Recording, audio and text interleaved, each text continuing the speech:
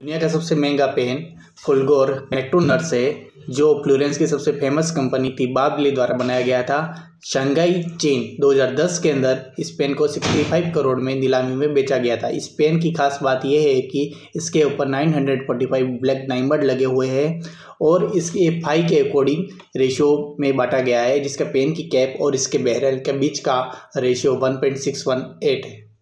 thank you